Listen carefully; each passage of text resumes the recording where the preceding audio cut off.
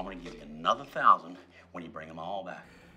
It was really thrilling to direct um, a feature film. Coming from another uh, discipline in the performing arts, um, particularly from music and, and, and acting and, and producing.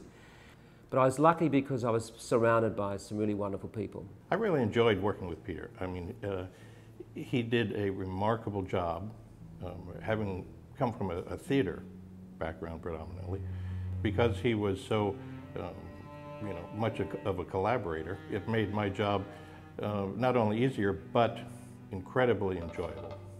You had a dream that wouldn't it be, wouldn't it be exciting to infiltrate American filmmaking and try and make films that uh, change people's lives. And the idea of making film was where you can reach a whole lot of people in a very powerful way,